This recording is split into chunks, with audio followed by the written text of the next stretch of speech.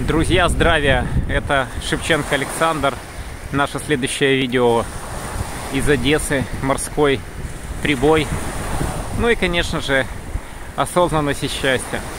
В одном из э, моих последних видео был комментарий рассказать про мироустройство и про Землю, что это такое на самом деле, как я это вижу. Могу поделиться своими мнениями, а на самом деле каждый сам может принять свое решение, тут нету никакой навяз, навязчивости, то есть поэтому решайте сами. Информации много, многую, много информации мы не можем проверить, но некоторую вполне возможно проверить. Вот вы сейчас видите так называемую линию горизонта, вот, посмотрите внимательно на нее. Видите, то есть она абсолютно ровная, вот, и бывает такое, что корабль ну, заходит вроде бы за линию горизонта, то есть он не должен быть виден. Однако, если мы возьмем увеличим, да, то есть приблизим, возьмем подзорную трубу или бинокль, то корабль будет виден. То есть он на самом деле не зашел за линию горизонта, а просто удалился от нас и стал не виден. Это один из примеров, то есть, который нам показывает, что на самом деле то, что мы называем Землей, имеет несколько другую форму, чем нам показывают там из космоса и так далее, и что вот эта вся пропаганда НАСА, она имеет определенный характер, да, и, скажем, спутники, они не для того, чтобы там скажем, ну, что-то, да, делать такое. Э, основная их цель – это, по сути, сбор информации, передача данных, ну и воздействие на людей, на землю, да, то есть вот эти лазерные лучи, которые бьют с неба и поджигают леса в Калифорнии, в Австралии, это как раз э, именно действие этих спутников. Вот, поэтому тут, опять же, я говорю, эту информацию ну, проверить сложно, можно верить, можно нет. Но на самом деле, когда вы сталкиваетесь с какими-то необъяснимыми явлениями, очень важно тут подключать и логическое мышление, и интуицию, и общаться со Вселенной, потому что все знания, все данные на самом деле открыты. Единственный вопрос, верим мы это или нет, насколько ну, как бы вот это наше знание нам доступно и насколько мы готовы в него верить. Вот это вот такой вот момент. Дальше посмотрим на мироустройство с точки зрения, вот, например, кому выгодно сейчас эта паранойя насчет коронавируса и так далее. Да, то есть некоторые, ну вот я записал недавно видео и назвал все это фейком, вымыслом, подумали, что якобы я считаю, что нет никакого коронавируса. Нет, есть что-то, что нам внушают и то, что называют коронавирусом. Однако цель этой эпидемии другая. Это посеять хаос и потом ввести стабильные данные. То есть оно уже начало вводиться. Закрыли авиасообщение, ограничивается перемещение людей, вводятся полицейские меры. Для чего это делается? Для того, чтобы людей держать рабами, для того, чтобы люди не выступали, не проводили демонстрации, не собирались. То есть цель это разъединение, вот что важно. И поэтому э, тут э, нужно, смотреть, что стоит за всем этим и кто стоит за всем этим. То есть есть, опять же, такие мировое правительство, которое мы, по сути, и не видим. И, э, ну, как бы есть какие-то там имена, они всплывают в интернете. Ну, я думаю, что это не главные имена, это так прикрытие. А те, кто по-настоящему управляют, они, вероятно, имеют э, совсем другой вес и вероятно, они имеют э, совсем другое влияние. То есть кто-то говорит о рептилоидах, о серых и других, э, ну, скажем так, расах, которые управляют здесь.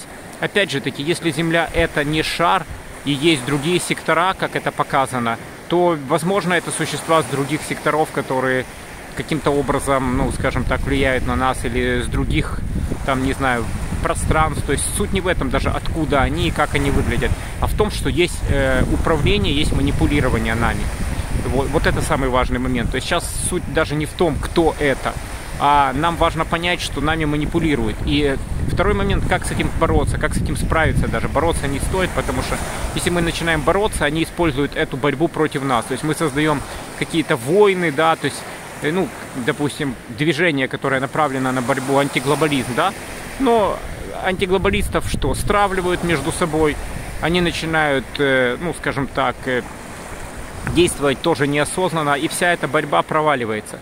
То есть, э, почему я так говорю? Да потому что э, даже сама вот эта структура мирового правительства, она поддерживает антиглобализм, потому что ей это выгодно. А цель э, на самом деле это повышение осознанности. То есть чем более осознан будет каждый из нас, тем сложнее его будет обмануть.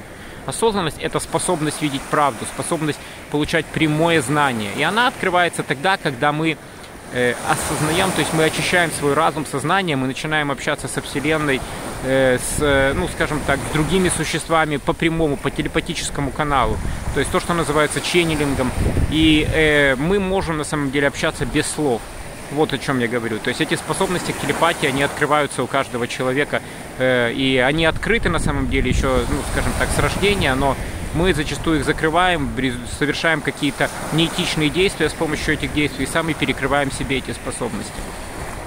Поэтому, друзья, э, основной посыл здесь – это повышение осознанности. То есть и сколько бы мы ни говорили про мироустройство, сколько бы я вам не говорил, пока вы сами это не осознаете, то есть не где-то там прочитаете или услышите, а именно на своем собственном опыте, в результате вашей проработки, да, которой я занимаюсь, например, уже 20 лет, то есть я это не, не беру с фонаря, с интернета, я работаю в этом, я делаю проработки, я делаю сессии, как с другими людьми, так соло, да, то есть и я в этом движении уже 20 лет, то есть я э, первоначально познакомился, например, вот э, с саентологией, с работами Хаббарда, там я впервые узнал о том, какое воздействие на нас оказывается. Сначала как бы для меня это было просто, ну, слова, то есть я мог верить этому или нет, но когда я это увидел в своем опыте, да, то есть в своих сессиях, то я, конечно же, у, у, убедился в этом и понял, что суть совершенно в другом, что я знаю, как это выглядит и почему это выглядит.